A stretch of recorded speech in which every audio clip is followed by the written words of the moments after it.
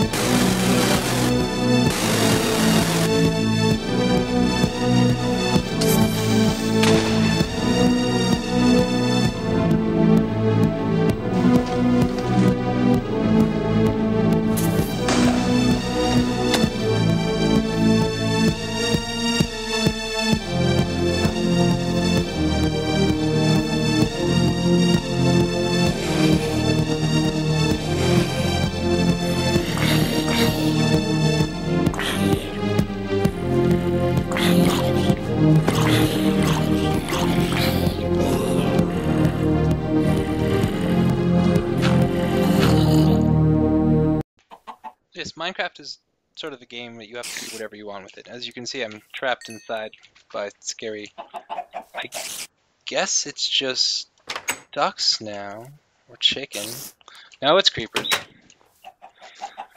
Uh, yeah, so while we're trapped in our house until daylight comes, let's talk a little bit about Minecraft, the game itself. It, it, it's a game that you're supposed to make what you want of it. You have to do you, you play the game of Minecraft that you want to play. And uh, because it's, it's such a massive sandbox game, and you can do pretty much whatever you want. As you can see, I've lowered the draw distance significantly so that I can get the best out of making the game sort of sort of a little bit more like a horror game because you can't really see what's on the horizon and things get a little bit foggy when you do that, especially in the winter areas. And so because I'm doing what I want with this game, because I'm I'm building whatever weird like palace or monument to how cool I am, I am, it, it makes the game about me, and so it accentuates engagement. Basically, everything I do in this game is for myself, and so it really helps build on the first-person character and the generic character dude that has that you control. And ultimately, it just makes the choices relevant to you. And in making those choices relevant to you, it, it increases the engagement of what Minecraft does best, which is paranoia and atmosphere. As, as you can hear the random sounds outdoors. So, yeah, that's basically it. Let's see if we can go outside. Yet. Seems like it. The creeper seems to have wandered away. What? Oh god! There's a creeper-sized hole in the ground. So, let's let's talk a bit about the mechanics of progression. As you can see, I'm wielding a diamond sword right now. Uh, I started off with a wooden sword at the beginning of this video, but I got chased into my home by a horde of zombies, spiders, and a creeper. If you want to do anything in this game, you're going to need to progress. And to progress, you're going to need materials to build whatever it is you end up wanting to build. And how you extract those materials is part of what drags you into the game and ultimately down into the mines. Before we even get looking at the atmosphere in the underground, there's the whole night and day aspect of the game to look at. When you start a game, and obviously I've been playing for a little bit, there's it's sunny out, there's really nothing to worry about. It's pretty happy. Um, but as time goes on, and slowly the night starts to fall, monsters start spawning randomly everywhere. In the darkness, coming for you. And so you've got to get the things together necessary to be able to go into the underground. One of those things is food. You get from ducks and stuff. And as long as you're up top, food is everywhere. But when you go into the mines, there's really none to be found. So you have to stock up first. Another thing is coal. The mines are dark. There's really nothing down there. Here, I'll, I'll show you a clip of what it looks like. See? I am mining. What the fuck is that?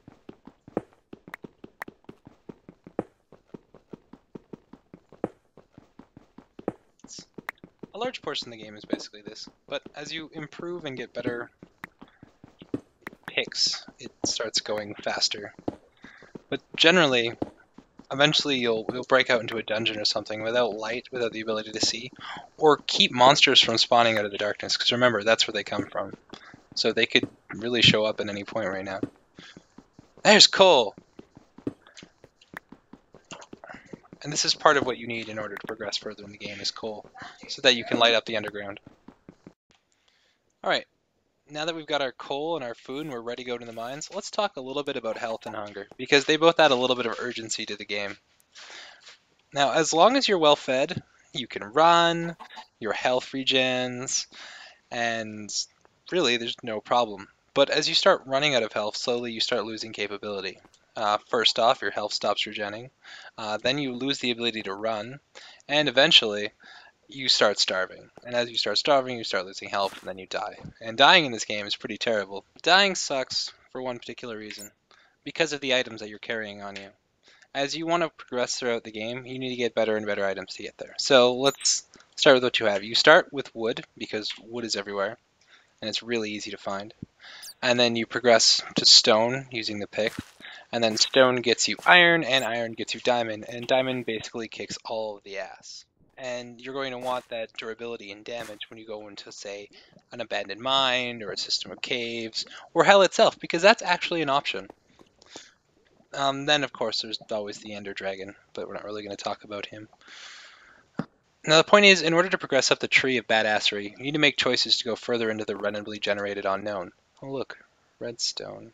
I don't want redstone. That's part of it, though. It's randomly and constantly generated. There's no clearing out a place.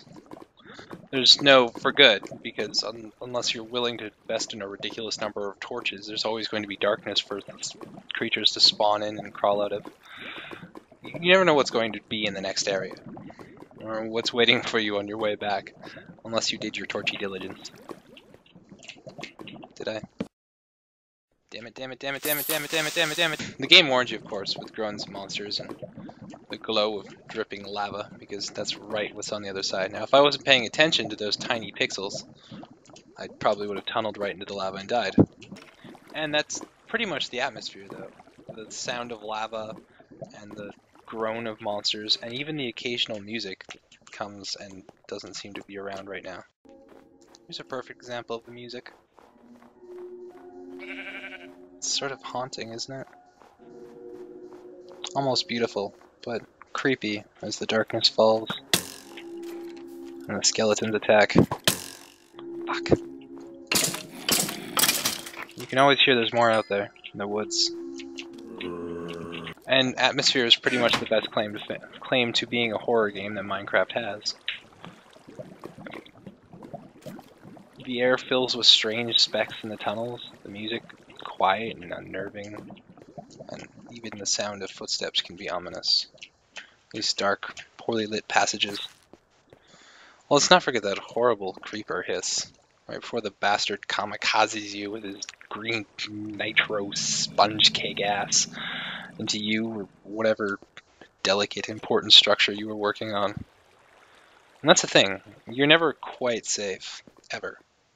Ever, ever, ever even at the apex of the game with monster traps everywhere and diamond swords and walls made out of fucking brick, you could still have a kamikaze sponge come and destroy your fortress. And unless you want the whole thing to be covered head to toe in torches, there's always going to be the threat of monsters. But even if you hunker down in your house forever, then the game's kind of done its job, hasn't you? It's made its made you afraid giving you the feeling of safety, but in a tense and conditional way. There's always something to lose. Losing, that's the biggest part of this game. Everything in Minecraft represents an investment of time that you've made, or even just luck on your part. Especially Diamond, which is pretty much like 90% luck, or 90% time and 10% luck. so when you're decked out in enchanted diamonds and you're covered in gear and you've spent all this time grinding, the things you have on you are super valuable. But while you may be more powerful, it also means you have more to lose. And the thing is, you know that. Sometimes you'll stumble across, stumble across a massive underground complex of used mines, or even just a tunnel or cave full of stuff. And you want to go through it, but you know the farther you go, the more stuff you'll have on you, and the more more stuff you'll have to lose, and the more chances you'll have to lose that stuff. There's always going to be a creeper or a lava flow or a skeleton to can hit you with an arrow and knock you into the lava flow, as I'm showing here. Or I guess you could always try knocking a skeleton into the lava flow. But it's always there, and it's ever present. The harder the area, the more valuable the stuff you'll need to survive in it, and the more you'll have to lose. It, it makes you nervous. It's dense. Let's talk for a little bit about the enemies in this game. There's the Creeper, the paranoia-inducing homewrecker, zombies and skeletons as usual. There are spiders and spider nests with spiderlings that can wreck your shit no matter how well geared you are, believe me, I know. Then there's pig zombies, flamethrowers, Slenus Endermen, I mean Endermen, uh, the occasional golem, bandits, floating bomber squid heads, uh, and wolves. And any of them, under the right circumstances, can kill you, even if you're the best arm player in the game. Even this lava pit, I mean, it's sort of innocuous looking, but if you fuck up, or you get knocked into it, your gear goes with you. And then everything that you were carrying is gone. So if you've worked forever to get iron picks and iron armor, and you're running through this mine, and you end up tripping into a lava flow, you're gone for good, and everything you were carrying on you. But as long as you're careful, and you use the shift key to walk, you shouldn't have any problem, providing the monsters don't come out of nowhere. So that's pretty much it. That's all I have to say um, about Minecraft as a horror game. Just its atmosphere, and its paranoia and its engagement. And you'll have to play the game to really get it because it's a game that sucks you in, and you'll you'll get a better feel for what I'm talking about after you've been burned a few times by lava pits or creepers, and after you've sort of felt the eerie feel of even that, even just those little charm bells when you collect experience. It's off-putting, and you'll see what I mean. I recommend you pick up this game, like 100%. If you haven't played Minecraft, give Minecraft a try. Unless you have some kind of horrible addictive addictive personality, and then I won't be held responsible for your need to go to rehab. So then don't pick up this game. But do, because it's really good. Um, also, there's a massive mod community out there, and there's tons of mods that improve this as a horror game, that add extra monsters, and adds more to do. So give it a shot play Minecraft, and enjoy the atmosphere because that's really the only way you can see it, is simply by playing it. Thank you very much. I've been Trivial Punk once more, and this has been Minecraft. Ooh. So I'm giving Minecraft a 4 out of 5 on engagement. It's great, but the graphics kind of pull you out of it. Minecraft gets a 5 out of 5 on gameplay, just because it's so goddamn much fun, and because of the way the mechanics pull you all the way down to hell. It also gets a 6 out of banana on atmosphere, and a Tarantino out of wombat on replay value.